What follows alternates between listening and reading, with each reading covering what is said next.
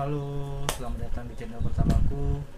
Eh, jadi kali ini aku pengen mengasih tutorial bagaimana cara mengganti eh, kampas rem belakang motor fiction.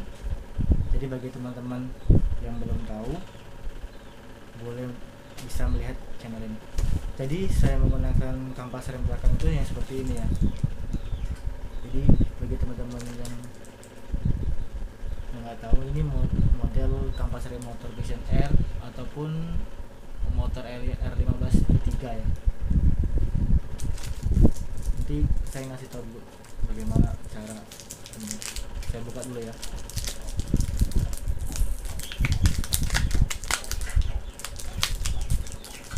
Oh ya saya eh, pengen mengucapkan uh, minal aidin wal faizin mohon maaf lahir batin. Uh, semoga hari raya 1 Syawal 14 41 Hijriah ini semoga kita diberi kesehatan dijauhi segala penyakit terutama COVID COVID-19 yang sekarang lagi uh, mewabah. Jadi seperti ini ya kampas rem Vision R itu sama seperti kampas rem eh, model R15 V3 jadi saya beli itu ini seharga 15.000 untuk daerah kota Palembang. Tapi kalau untuk daerah-daerah lain mungkin eh, mungkin ada 20 25 tergantung toko yang menjual ya. Jadi sistem pengunciannya itu ya kayak gini ya. Jadi kalau ini misalnya ini untuk sebelah kiri untuk sebelah kanan. Nah jadi sistemnya itu kita itu ini ini kunci L itu. Nah kunci L itu tuh eh, nyangkut di sebelah sininya loh. Nah kayak gini sistemnya tuh. Kayak gini. Kunci dia. Terus kayak gini juga. Untuk sebelah satunya lagi. Jadi kita langsung aja ya bagaimana cara nanti pas rem belakang. Motor Vision R jadi ini adalah penampilan motor Vision R motor Vision R ya yang saya. Jadi yang kita perlukan adalah menggunakan kunci L ukuran 5 ukuran 5 jadi kita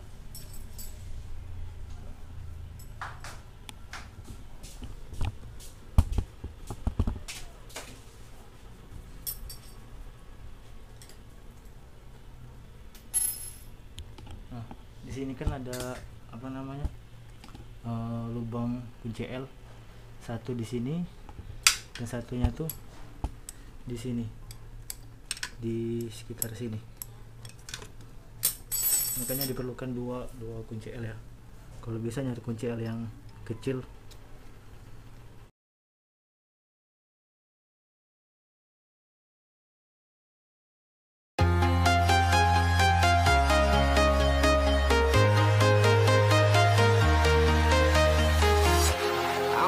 walking alone, the streets are empty. The only thing I can see is my own silhouette. I'm getting stronger, step by step. The clock is ticking, but there's no time for regrets. I've been flying from town to town,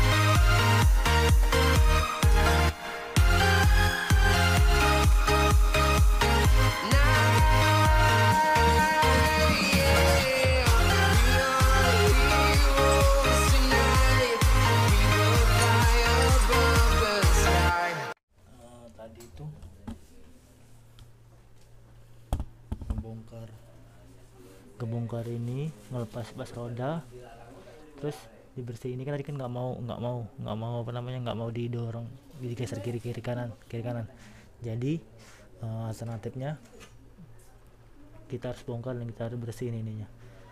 Karena yang di sini itu yang di sininya itu eh, kayak kurang ini apa kurang minyak gemuk jadi kita dikasih minyak gemuk ininya. Di sekarang pemasangan eh, kampas rem belakang ya.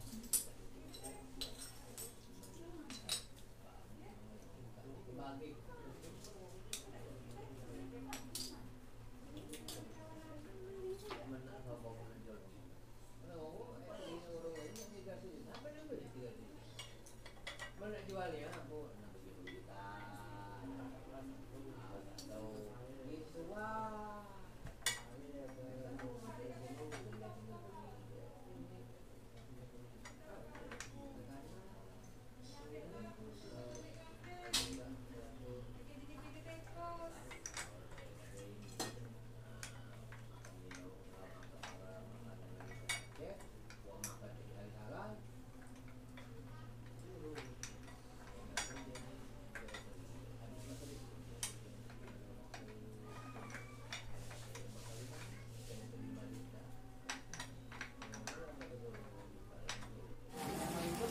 jadi ini adalah setelah pemasangan kampas rem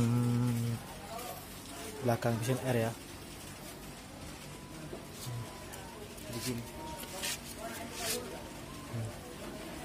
Dia nyangkut di satu sisi ini sama yang ini. Sama yang ini. Kelihatan. Nah, ini. Yang ini. Jangan lupa subscribe, like, dan share video ini supaya bermanfaat. Terima kasih.